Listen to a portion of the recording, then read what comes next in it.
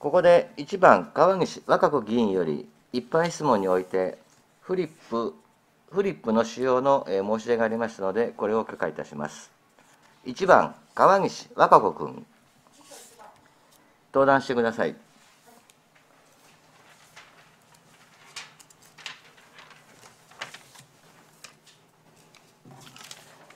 1番川岸和歌子です。通告の通り以下の質問をいたします。1人の交流でにぎわう歴史を学ぶまちづくりについて。令和3年度の事業として旧周知高校機械実習等を有効利用するための施設改修に1億3600万万円の大きな予算が計上されています。そこはシルバー人材センター教育支援センター若葉等に利用され合わせて114台収容の駐車場も併設され一部は隣の森アリーナの駐車場も含め利用者以外の駐車もできるとの説明がありました。森森町中心部には駐車場の不足という課題があります。訪れた方も便利に使用できるかと想像します。そこで2点伺います。1交通安全対策事業として新田赤松線の整備事業も継続される予定です。そこで今後の森町中心部におけるまちづくりの俯瞰的な将来ビジョンや目標など観光の面も含めて伺います。2自家用車で森町を訪れる観光客がその駐車場を利用するようになれば蓮華寺歴史民族資料館周知高校創立者検証庭園鈴木藤三郎墓所安山等蓮華寺周辺一帯を歴史を学ぶというテーマで森町を紹介し感じていただけるエリアとして最適であると考えます。そのような整備はできないでしょうか。次の質問です。森林環境譲与税で文化財保護を含めた観光への森林森林景観整備を2月26日の静岡新聞で牧之原市の勝俣城市が森林環境譲与税を使って整備されているという報道がありました。5年間で約3000万円の予算であり自然と歴史の両方を保護するという意味で使われた森林環境譲与税の使い道として全国でも珍しい例だそうです。森町においても森林に隣接する史跡や文化財も多いです。また戦国時代からの城跡も多数あります。森林環境譲与税を使って城跡など整備してはいかがでしょうか。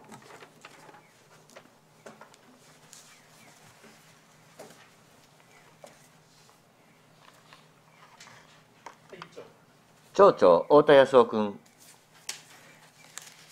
川岸議員のご質問にお答えいたします。はじめに、人の交流でにぎわう歴史を学ぶまちづくりにつまちづくりについて申し上げます。1点目の今後の森町中心部におけるまちづくりの俯瞰的な将来ビジョンや目標についてのご質問でございますが、都市計画におけるまちづくりという観点で申しますと、森町都市計画マスタープランの全体構想で、第9次総合計画が掲げる、住む人も訪れる人も心和らぐ森町の実現のため、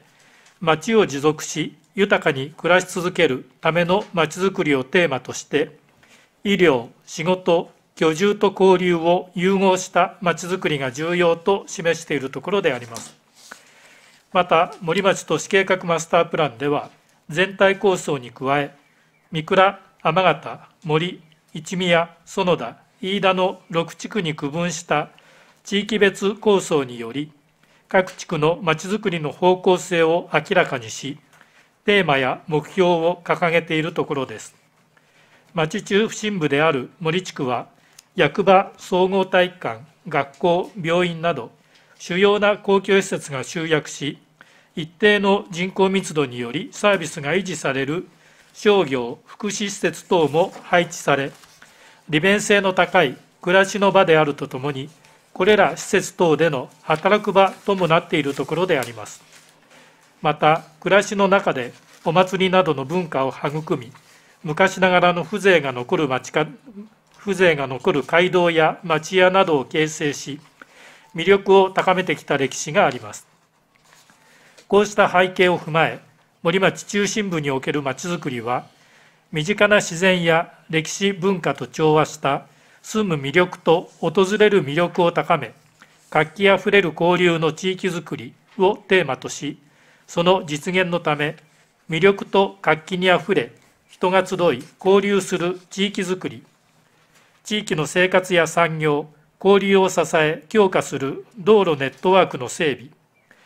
歴史や文化自然を生かした誇りと愛着が持てる地域づくりの3つの目標を掲げてまちづくりを進めることとしております。これら3つの目標実現のため役場周辺を地域及び町全体のまちづくりの核として快適な住環境づくり道路交通の整備歴史ある町並みなどの地域資源の維持保全等を推進し森町中心部のまちづくりに取り組む方針でございます。また都市計画マスタープランと同時に策定した森町立地的成果計画では森町中心部を都市機能や居住を誘導する街中居住促進区域と区域に位置づけています。今後のさらなる人口減少少子高齢化に対応するため住宅や生活利便施設の集積により暮らしを維持するエリアを目指すこととしております。観光の面では森町中心部におけるまちづくりの俯瞰的な将来ビジョンや目標について遠州の小京都まちづくりという観点があろうかと思います。議員ご案内のとおり遠州の小京都を形成する一つの資源である古い町屋や蔵等が点在する森地区中心部へ観光客を誘致することは遠州の小京都まちづくりの推進において大切な課題であると考えております。しかしながら古い町や蔵等は個人の財産でありその利活用や保全については所有者の意向や費用負担の面からなかなか思うように進んでいないのが現状であります。観光の振興ではその場所その地域に魅力的なものを人を引きつけるものが存在しなければならないと考えます。町といたしましては森地区中心部の魅力として古い町屋や蔵等の価値を再認識し商業的産業的な利活用等を含め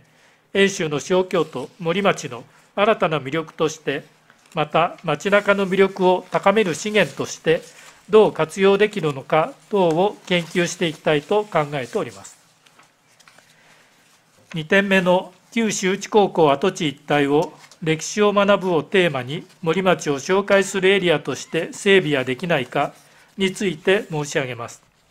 議員ご案内のとおり旧周知高校跡地周辺には校舎跡地に周知農林学校創設者である福川千吾氏鈴木藤三郎氏を検証する庭園が整備され近くには墓所もあります。また安山公園には鈴木藤三郎氏ゆかりの観音像。森の茶業の発展に功績のあった村松吉平氏の検証費や森の石松浪曲歌碑があります。さらに森町歴史民族資料館や蓮華寺がありさら先に進めば歴史の散歩道など森町の魅力である歴史文化自然を感じられるエリアであり議員のご発言にありますように旧周知高校跡地周辺一帯は森町の歴史を学ぶのに適していると考えます。その中心となる森町歴史民族資料館では館長が現代版資料館だよりともいえる資料館フェイスブックを開設しております。その中で来館者が昔の農機具を使った体験をしている様子や四季の草花など資料館周辺の自然の風景森町の歴史や季節ごとの民族行事などの紹介清掃ボランティア活動など多くの情報を写真を交えて随時発信しておりますまずはその資料館フェイスブックの中でこのエリア一帯を散策したくなるような紹介を今まで以上に行ってまいりたいと思います。また、検証庭園付近に解説付きの解説付きの案内看板を設置したり、新たな周遊コースのパンフレットを作成する等で、森町の歴史を学ぶエリアとして整備することも考えられますので、今後、関係機関と調整しながら検討してまいりたいと思います。次に森林環境譲与税で文化財保護を含めた観光への森林景観整備をについて申し上げます。森林環境森林環境税及び森林環境譲与税につきましては、パリ協定の枠組みの下における我が国の温室効果ガス排出削減目標の達成や災害防止等を図るため、森林整備等に必要な地方財源を安定的に確保する観点から創設されました。平成31年3月に森林環境税及び森林環境譲与税に関する法律が交付され、税の目的や使い道等が規定されております。この法律において、森林環境譲与税は、市町村及び都道府県が実施する森林の整備に関する施策及びその促進に関する施策に要する費用に充てなければならないとされており、市町村における具体的な使途として、1、森林の整備に関する施策、2、森林の整備を担うべき人材の育成及び確保、3、森林の有する公益的機能に関する普及啓発、4、木材の利用の促進、5、その他の森林の整備の促進に関する施策に要する費用に充てなければならないと規定されており、また、適正な使途に用いられるよう、活用した事業について年度ごとに公表することが義務付けられております。令和元年度における森町の取り組みは、法律の規定に基づき、森林環境譲与税の使途のうち、森林の整備に関する施策として、森林整備移行調査等業務と、林道の維持補修修繕の費用に活用し、その他の森林の整備の促進に関する施策として、臨地台帳情報の更新、森町森林環境整備促進基金の設置及び積み立てを行い、これらの取り組みについて、町ホームページ及び森町広報森町で公表させていただいたところであります。令和2年度におきましても、森林の整備に関する施策として、森林整備移行調査等業務と、林道の維持補修修繕を実施しており、その他の森林の整備の促進に関する施策として、森町森林環境整備促進基金への積み立てを行うこととしております。森林環境譲与税の活用は、法律の規定に基づいて行うため、文化財保護や景観整備を主目的とすることは、法律の規定から逸脱してしまう恐れがありますので、使途の基本とされて基本使途の基本とされる森林整備に関する施策を中心に活用していきたいと考えております。その中で、森林整備を主目的とした上で、史跡保護などと両立するような活用方法があれば検討していきたいと考えております。以上申し上げまして答弁といたします。1番川岸和歌子君。最初に、えーと歴史を学ぶまちづくりについての、えー、神殿赤松線のことなんですけれどもなぜこの将来ビジョンというのを伺ったかというと、まあ、神殿赤松線は、まあ、50年と言いませんが、えー、と50年近く前から計画されて今まで続いている計画だと、えー、伺いました。でその中で町民の方からもうそれぐらい前のあの計画で、えー、やる意味があるのかと聞かれたわけです。で私は本当に町民になってまだ新しいのでうんどうなんでしょうとしかお答えできなかったんですが私個人の意見としては将来的なそういうビジョンが見えていればあのどんどん進めた方がいいと思いますしあの先ほど町長が答弁されたように、えコンパクトシティという観点からもあのまた、え安全安全等のまち、づくりという点からも、えーと北からも南からもアクセスがしやすいと中央にアクセスがしやすいと感じるので私は進めた方がいいとは思っております。でえーえーまあ、旧周知高校の機械実習棟の改修の予算のことですけれども、まあ、今ある施設をこうできることから活用していこうと、えー、していくことはとても良いことだと思いますしまたそこに、えー、と何が良いってまとまった駐車場ができるっていうのは私は本当にこういいなと思ってます。えー、特にこの頃、えー、このコロナ禍で、えー、アウトドアブームっていうのが来てますので、えー、今蓮華寺からのあの歴史の散歩道コースっていうのが毎週土曜土日になると結構車が止まってていろんな方がえーと、ハイキングに行かれてます子どもたちも歩いていけるぐらいの、えー、蓮華寺から八景山抜けて大東院へ抜けるようなハイキングちょうどいいハイキングコースになってますので人が来てると。で先ほど町長がおっしゃったように、えー、民族資料館の館長がですね、えー、すごく丁寧に説明をされているので民族資料館の、えー、評判が良くなってきているということも伺っております。ので、えそのそのあたりを今価値を上げるこうチャンスじゃないかなとちょっと思ったわけです。で蓮華寺を行っていただくと、えー、ちょっと登ると鐘をつける場所もありますしそこから裏を通って、えー、山沿いの道があるんですけれどもそこを上がっていくと、えー、森町の芋寺の山田七郎左衛門の、えー、碑というか墓所と碑があります。でそこから撮った写真が、えー、町長、えー、町の町の方の写真なんですが非常にこう遠州の小京都を感じるようなすごく景色のいいところなんです。で、えー、まあここからの景色っていうのも何か活用できるんじゃないかとそんな景色があったのかとそのそんなにすごく山を登らなくてもあの蓮華寺の裏へ行けばこの景色が見れるということです。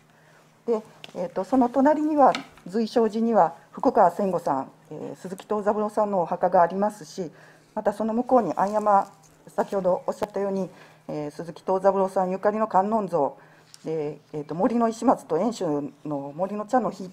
また角屋吉平のさんの日またえーと、戦没者の立派な戦没者慰霊塔などすごくあの価値のあるものが揃っている安山というところですけど森町の人はあもう当たり前にあって安山を感じていると思うんですが私は安山のどこから入るかも分からなかったんですでもあの、まあ、昔はもっと景色が良かったとか今、えー、ちょっとももうちょっと景色を良くしようとかっていう動きもありますがそこがそこも、えー、非常に魅力的が魅力があると思います。また、えー、バイリン院も近くにありますしその森アリーナ周知高校跡地周辺っていうのは本当にこう魅力的な場所だと、えー、外からの人は感じると思うんです。で、えー、そこに駐車すれば、えー、先ほどおっしゃった蔵とか古い古い町並みとかにも行けますしもう少し足を伸ばせば雨宮神社にも行ける範囲だと思います。そう考えるとあのあの辺りに駐車場があるっていうことをもっと周知してみんなが知ることによって、まあ、今のところは小国神社とか大東院とかアクティ森とか有名なところに皆さん行かれますけどもっと森を知りたいと、えー、有名なところは行けるけれどもこう森を知るのにはどうしたらいいんだっていう人が来れる場所になるんじゃないかなと希望を持ってます。そういう面でもこう今申し上げたような、えー、蓮華寺周辺っていうのをなんか一巡りするようなコースに、えー、整備することは意味があることだと思いますがいかがでしょうか？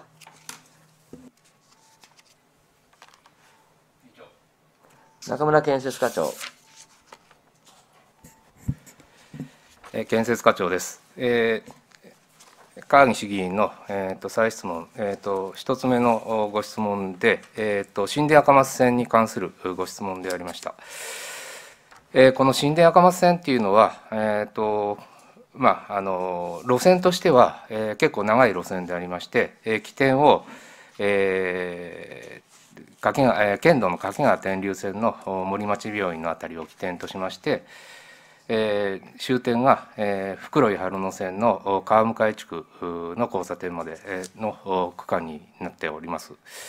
まあこのまあ、あのこの路線の整備といたしましては、まあ、あの計画決定からは50年、えー、経っているということで、えーおしえーと、ご質問の中にありましたけれども、えー、整備といたしましては、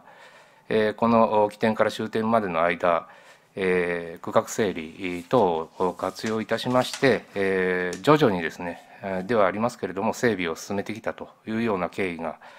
えー、あります。で今回ですね最後に残っております街中の整備を今回していこうというところで、え考えております。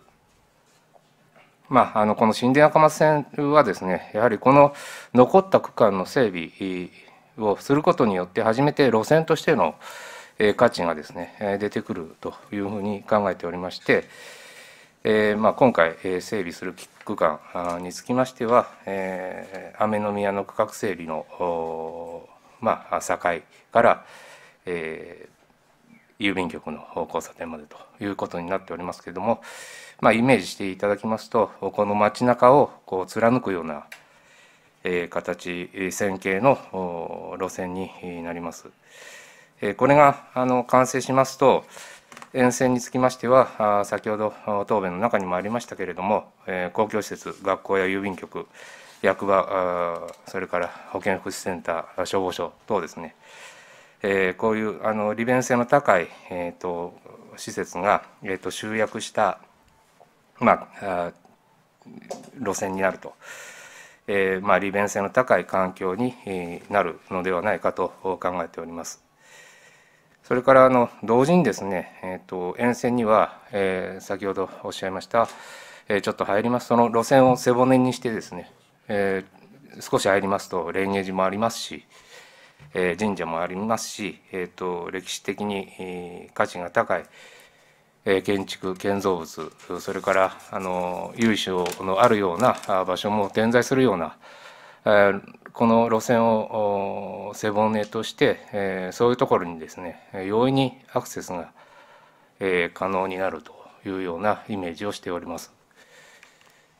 まあ、今までですね、まあ、こういったような場所を、まあ、来訪者の方等に案内するにあたりましては、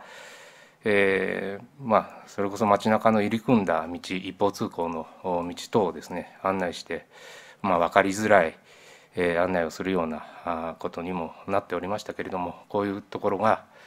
えー、解消されたりするというようなイメージをしております。まあ、あとですね、まあ、最終的には、まあ、この路線の整備によりまして、え今まで今説明した通りですね中心部については公共施設と集約しておりますし非常に住む方にとっても住みやすい区域になりますし、えー、まあ、環境観光客等も、まあ、訪れやすい場所になってくるということで、えー、まあ、町全体としてもですねこういう公共施設へのアクセスも容易になってくるような路線になってきますので、え今後もですね、あの計画の方を進めて早期に完成させたいということで考えております。以上です。町長太田康夫君。ただいまの新田赤松線の件につきまして少し補足をさせていただきますが、えー、確かに都市計画決定からはえ50年近く経っているわけでありますがその間何もしてこなかったわけではなくてえその時代その時代ごとにさまざまな手法を用いてえこの路線の整備を進めてきております。えそしていよいよ残り区間がえ720メートルぐらいとなってまいりましたので、その残り区間を整備をすることで、路線として完成をしたいと、そのような考えで事業に取り組んでいるところでございますので、え今まで何もしてこなかったのではなくて今までさまざまな、ま区画整理であるとかいろいろな手法を用いて整備をしてきた最後のところを結ぶというのが今取り組んでいる事業でありますのでそのようにご理解をいただけたらと思います。長野産業課長えー、産業課長です、えー、川岸議員の、えーまあ、歴史をを巡るというかそういうことをテーマにしたルート整備にかかる再質問でございます。えー、まず町の観光振興についてはですね、えー、現時点で観光協会と連携して、えー、情報発信 PR ということを中心に実施しているところでございます。え、まあそのテーマとしては花巡りであるとか紅葉であるとか武学を含めたお祭り等々がございます。で基本的にはその観光施設やイベント主催側主催側が積極的に取り組むものに対して情報発信 PR ということを行っているところでございますでまたですね観光協会のホームページにおいては、えー、森町散歩と題してテーマ別に観光コース案を提示しているところでありましてその中でも歴史文化を切り口としているものもございます。えー、まあ、ご質問のですね要は観光的視点と、まあ、教育教養的視点といいますかそのいろいろ歴史を学ぶことの視点というのはそこはまず2つあると思います。えー、まああの例えば観光的視点で来られる方は、まあ、こういう歴史もあるんだなあぐらいの関わり方でいろんなところを巡りたいという思いもあると思います。まあ、その一方で歴史を学びたいという方にとっては一つのところにとどまって、えー、じゃあその専門的知識で学んでいきたいというところがあるとございます。で観光振興という観点からは基本的には観光振興観光イベントとしての情報発信 PR ということをまあ中心に実施しているところでありましてで、まあ、その中にそういったものも加えるとことも一案ではございますけれどもそれはそれとしておそらくあの観光客の人はいろいろな情報が盛り込みされすぎても分かりにくいといったところもあるとは思います。なのでそこをまああのこう2つ一緒に一応盛り込みすぎてもどうかという点はございます。まあ、しかしながらこれまでですね観光振興と文化振興については表裏一体えー、密接につながっているところがあると思いますので現状でも、えー、産業課の観光部門と社会教育課の文化振興部門とが連携を取って進めているところでございます。えー、またですね、えー、森町における観光と歴史文化の関連性につきましては、えー、演習の小京都まちづくり基本構想基本計画においても整理し推進しているところでございます。で、えー、まあそのコース整備っていった観点で、えー、まあすぐ上がってくる課題は全てが町の土地ではないということです。要はそこに持ってる方々もある施設であっても、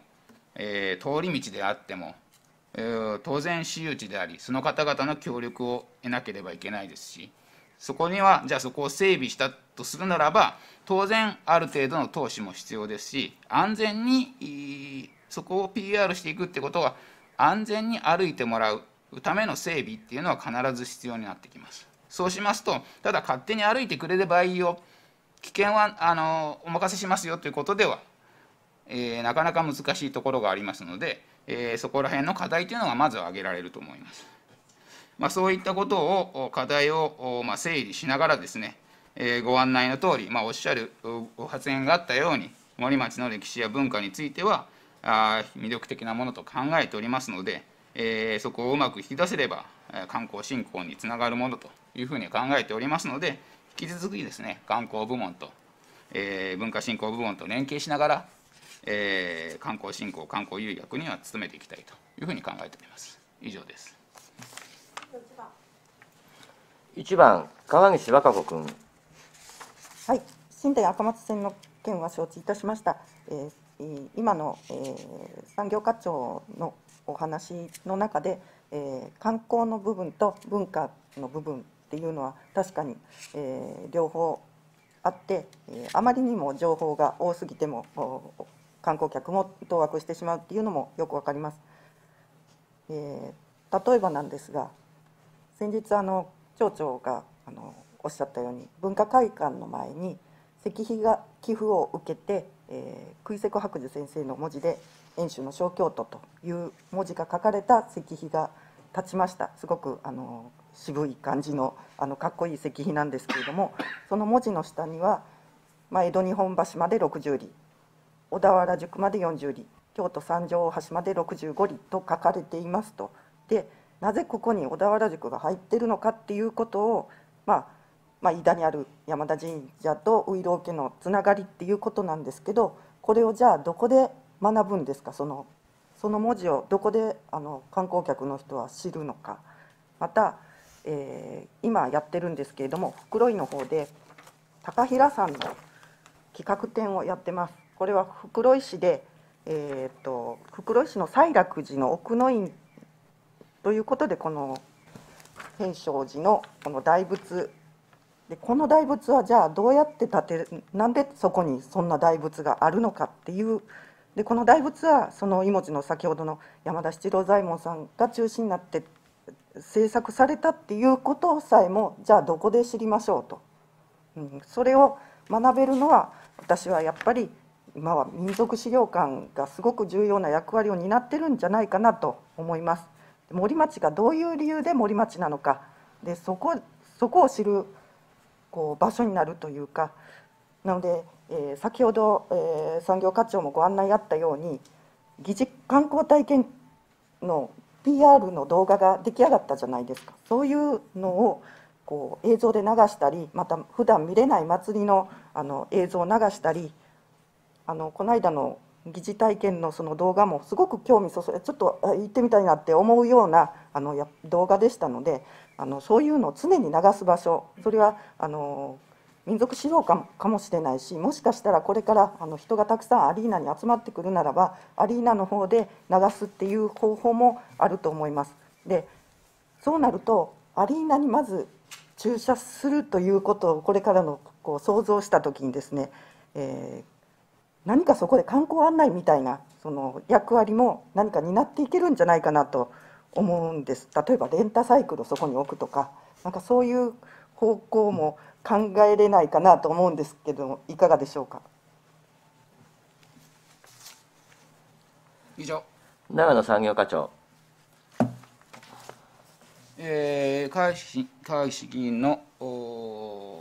再質問にお答え申し上げます。えまあ、趣旨といたしましては、その要は歴史文化を学ぶ、まあ、拠点作りといった観点かと思います。でまあ、拠点作りにつきましてはですね、え、まあ遠州小京都森まあ町づくりの基本計画にも載ってございますけれども、そこの拠点に何をどういう機能を持たせるのかあとは場所はどこがいいのか、えー、でそのじゃあその拠点がそこだけにあって、えー、じゃあそのやはり全体としてじゃあその拠点もこういうその町づくりをする中で拠点はこの場所であればいいじゃないかとかいったさまざまな検討が必要でございます。で今アリーナの中にっていうお話がありましたけどもそれはやはりあそこは体育施設でございますのでじゃあそこで完結できるかっていうと、えー、でそういう拠点を作るならばある程度やっぱりそこに来て今議員がご発言あったようなことが学べる施設ってなると一定程度の規模が必要ですし、えー、そこを、ま、当然そこをまずそういう拠点を1個作ってそこに全部盛り込むのかっていったことも検討しなければなりません。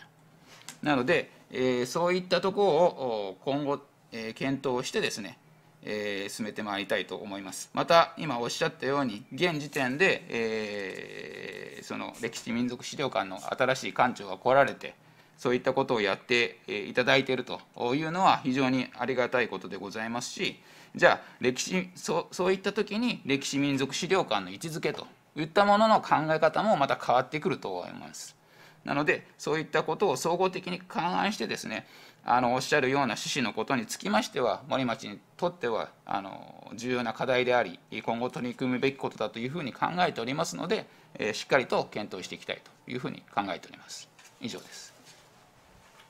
以上1番。1番川西和歌子君。はい、えーま、観光地として訪れる人を増やしたいとか関係人口を増やしたいっていうのも思いますが私がそれ以上に感じるのはこの今住んでる森町民の方が、えー、自分たちの町をやっぱ誇れる町というか町文化、えー、歴史を知ることで自分たちのアイデンティティとか魅力それがもうその森に住んでるという魅力に、えー、つながると思うんです。本当に目に見えないものなので、えー、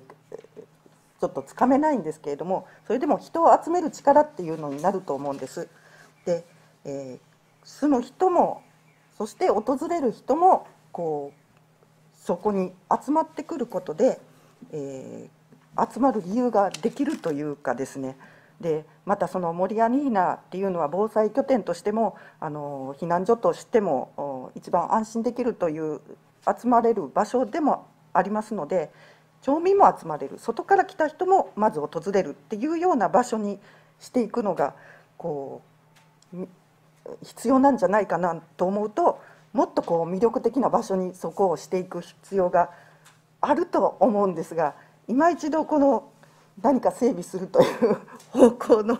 うん何かこう、うん、あればお答えいただきたいと思います。町長太田康夫君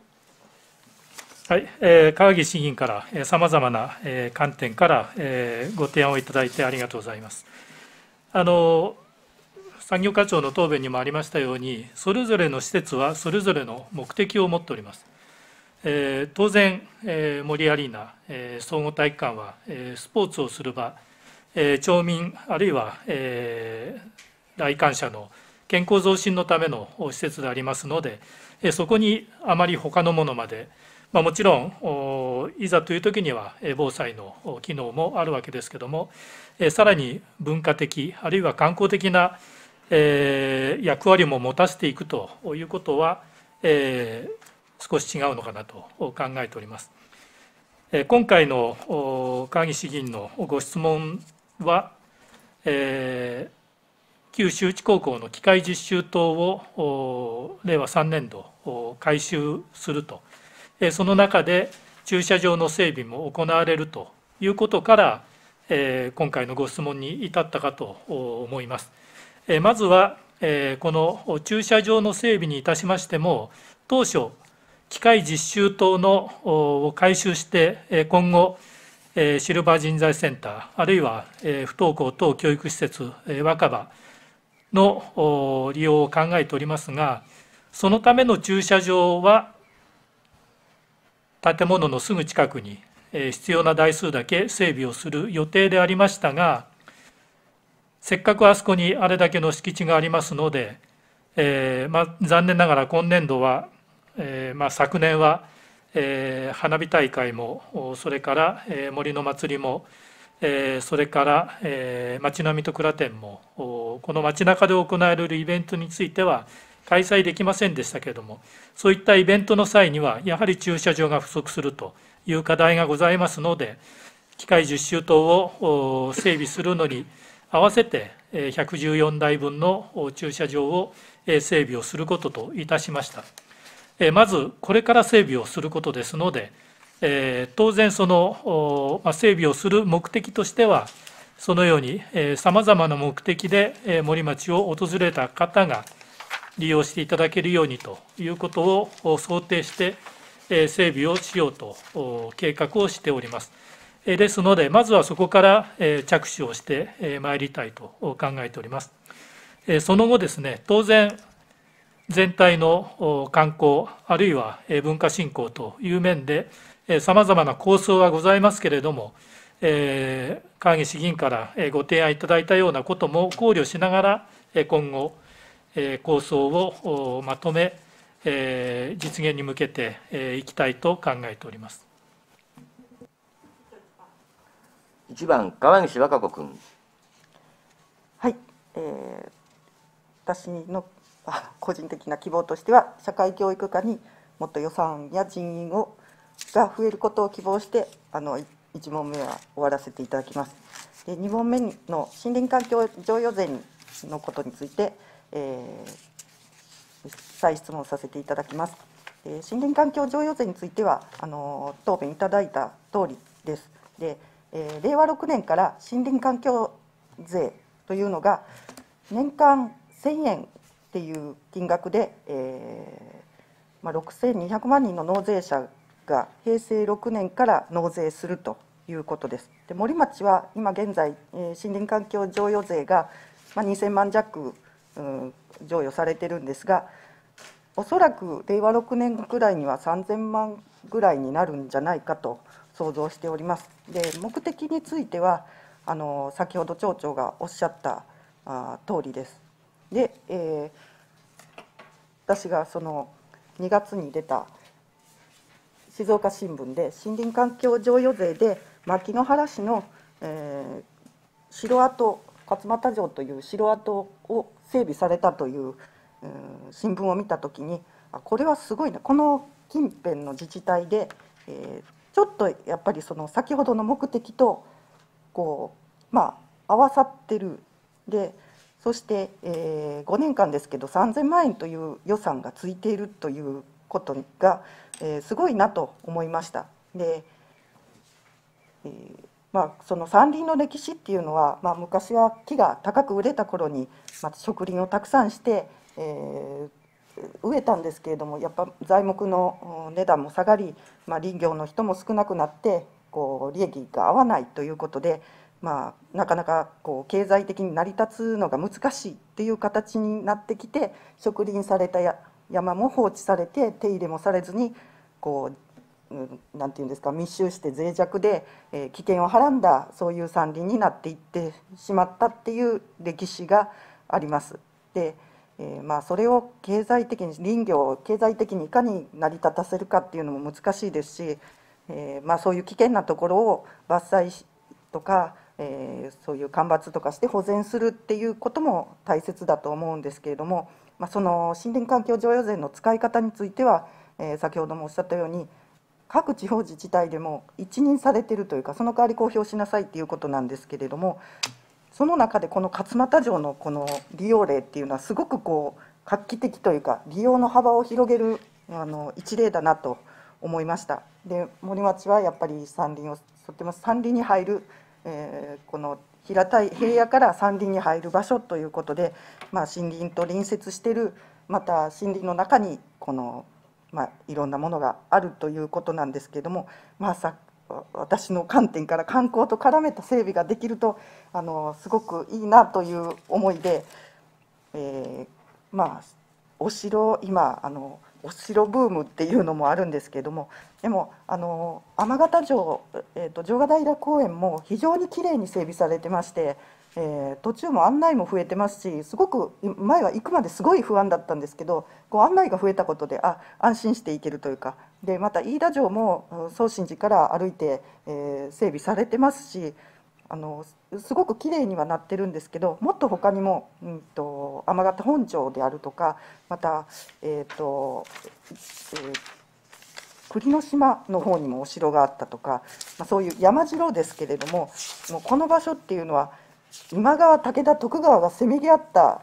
うん、すごくこうとても興味のある人はワクワクする場所だと思うんですよね。で私は奈良出身ですけれども奈良は奈良時代とかその、まあ、あの卑弥呼の時代から、えー、大和朝廷からそのそれがその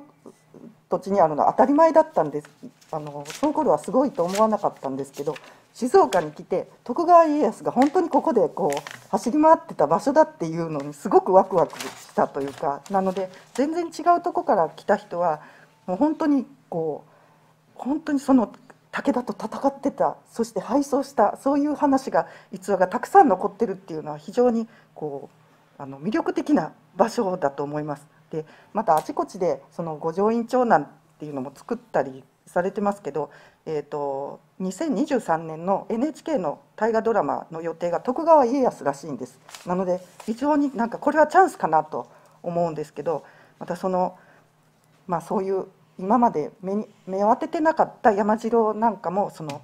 えー、森林を整備を兼ねて、えー、整備して、まあ、五条院長とかまたスタンプラリーとかなちょっと形は分かんないんですけどそういうことに利用できないかなと思ったんですけれども いかがでしょうか？議長長野産業課長。えー、産業課長です、えーまあ、森林環境譲与税に利活用方法にかかるご質問かと思います。えーまあ、あの森林環境譲与税の利用目的等につきましては、えー、先ほど町長の答弁の通りですね、法律で規定されてます。それで、えー、なぜじゃああの全国民から集めて、えー、税として貴重なあお金を税として集めてそれを森林整備に使うのか使えるのかっていうのは森林に要は土砂防備の機能とか水源寛容機能とかひいては森林整備を整備することによって、えー木材に CO2 を蓄積して、えー地球温暖化にするという、えーまあ、日本で言えば全国的な課題に解決するために全国民から集めているわけでございます。ですのでそういった貴重な集めたお金の使い方として当然まずはそういったものに必要な財源として考えるというのは私ども行政マンは、法に従ってその税金を投資して、町の課題を解決していくという意味では、そういった視点をはがまず第一として考えるべきだと。自分は思っております。で、えーその中でじゃあ例えば、えー都会の人たちがあまり森林整備がない中でどういったお金の使い方ができるかと言いますと例えばじゃあ木材の建築物を作って、えー要は、えー停滞している木材の利用を図ることによって森林がさらに整備されてそういった全国民的な課題の解決につながるよといったことでございます。ですから都会の人もそうでない方からも同額を集めて、えーその貴重な財源を使っていくといった視点はやはり忘れてはいけないと思っています。でその中でじゃあ森町にとって何が課題かということになります。えー森町にはあの森林が9500平米ほどあります。あ平米じゃない9500ヘクタールほどあります。で、えー今あの基金として、えー整理させていただいておりますけれどもそれは決してその財源が余ってるからあの基金に積んでるわけではなくて、えー森林整備荒れた森林整備、まあ、そうでない森林もいろんな努力のこあの結果でなっておりますが、えー本当に理想的な森林整備をするにはとてもその財源では正直足りません。えーそういったまず主な目的ところに従ってやはり私たちはまず考えていかなきゃいけないとは思っています。で、えー牧之原の案件につきましても、えー新聞が出てこちらからも聞き取りをさせていただきました。で、えーこういったあの捉え方をされて、えー市としては少し、あの困っているといったお言葉がありました。それはあくまでもこの森林環境贈与税をここに活用したのは城の周りにある森林の整備をやるということで、えーお金を充当しているのであって文化財保護のためにやってるわけではないと。であのこのまああのここの文章にもございますけども手入れをしなければ樹木やや堀や土壌を傷めるほか倒木や土砂崩れの危険性も高まると。要は森林整備をすることによってそういった、えー公益的機能が保管できるからそういった充当をさせていただいたと。いうことで、えー牧之原市からは静岡新聞に対してちょっと書き方が違うのではないかと。いうことを申し上げて、えーネット情報からは削除させてを依頼しているといったことでございましたので牧之原市としてもあくまでもそこの森林整備を行うことによ行うことに対して譲与税を充当したということでございます。で結果的にそこの石の保護を両立したということでありまして、えーまあ環境譲与税森林環境譲与税の使い方といたしましては、えーまずは森町のそういった課題を解決することに充当することを基本としていきたいと考えております。まあそれとともにですね当然その森林整備以外に例えばあ公共的な施設を作るときに森町だからこそ木材的な利用を使うとかそういったあのいろいろな課題で全体的な森町の課題を、えー課題と優先順位をつけた中で、えー森林環境上予定として、えそれが例えば木材公共的木材建築に、え充当できるねとかそういったことでの使い方というのは当然検討すべきだとは思います。で要は森町の課題である、えー森林整備とその町全体の課題とその優先順位を図りながらやはり進めていくべきだと思ってますのでその中でじゃあその城を活用する際にそこの森林整備がどうしても必要であるとかその森林整備自体が広域的機能の発揮につながるであるとかっていう判断ができればそこについては検討の余地はあるかと思ってますけれどもあのお金があるからそういったものに使えばいいのではないかということではあ、まあ、それはあの川岸もご案内のこととは思いますがやはり森林環境条例の重等の考え方としてはそういったことを基本に考えていきたいというふうに考えております。以上です。一番川西和歌子君。はい、大変あの、えー、説明いただいてよくわかりました、えー。産業課長のおっしゃる通りだと思います。えー、山林の管理っていうのは本当にこう知識がないとできないなっていうのを、えー、最近すごく感じるんですけれどもそれがあのやっぱ知識が必要だなって思います。このただ伐採するにしてもあのその土地であるとかその地形であるとかどっち向きであるかとかっていうので全く違うという判断をしなきゃいけないっていうのはやっぱ分かってない分かってない人じゃできないなって思うんです。でそのためにもやっぱ人材を育成していくっていう方向も大切かなと思ってます。でまた、えー、町内にはフォレスターって呼ばれるようなその資格を持ったような人もおられたりするのでそういう方々をまあ巻き込んでというか、えー、そういう検討委員会というかその、えー、森林環境譲与税をどう使っていくかっていうような、えー、検討委員会はいろんなこう、まあ、方を入れてのそういう会は、えー、設けておられるんでしょうか？以上。長野産業課長、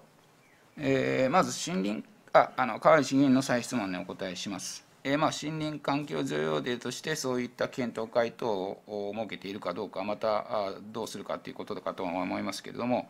えー、まず森林の整備に関しては当然あの森林環境譲与税ができて、えー、各市町間あとは県ともいろんなあ検討会勉強会情報交換をしております。でその中で